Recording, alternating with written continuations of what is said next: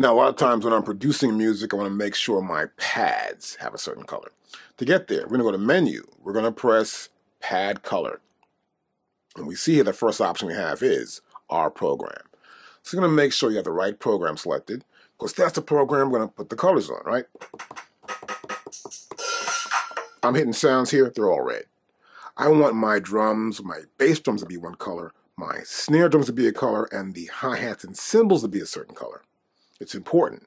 That way, when I see the tracks move and I see the velocities under the pads, I know what that sound is. Now, here we have classic. This is how it normally comes, all right? I got a program selected. This is classic. And so in classic, obviously, as you can see, let's play a track here. and you see some sounds are lower velocities. So it's a classic look where if it's a low velocity and not much velocity, it's going to be almost a yellow amber color. And when you hit it real hard, it's going to be a red color. And you can see that here in the track. But what I want to do is make sure that the colors have the velocity.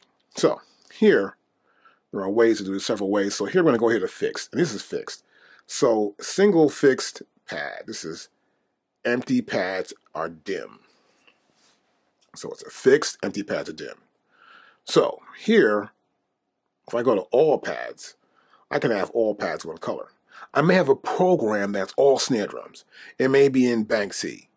I may be using a couple of snare drums here and there, whatever. So I may make one program all uh, one color.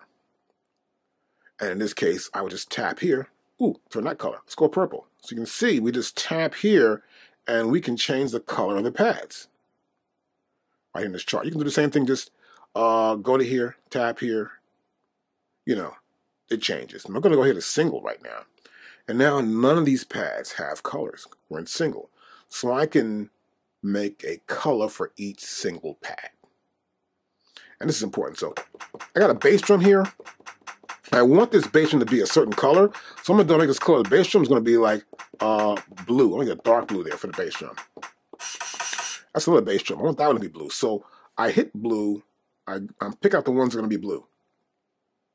This, I know these are hi-hats, so I want hi-hats to be yellow. So those are yellow. And you can see them right here on our touchscreen display also. Snare drum I want to be green, so I got to hit the green.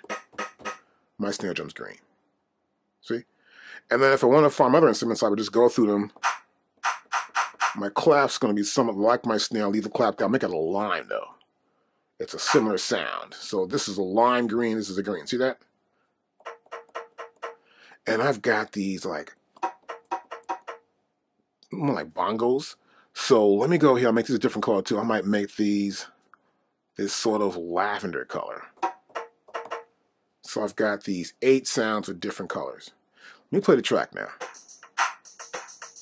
You don't see nothing, right? Nothing at all. Stop. So we've got it fixed. That means it's a fixed color. It's fixed. It's not moving. It's just tightly fixed right there. So I'm going to go here. I'm going to double click this. And now I want to get velocity set up here. I want to see the bright velocity. Let's go to here. Right? My bright velocity. And now I want to play. You see the velocities. Now you can see the velocities and the pads that have colors on them. See? That's a bright velocity. I can go back to here. I go for a dim velocity. And now you see the pads got dimmer. Now if I play here, you can see the pads, their velocities are going from low to bright as they're hit. Look at the clap.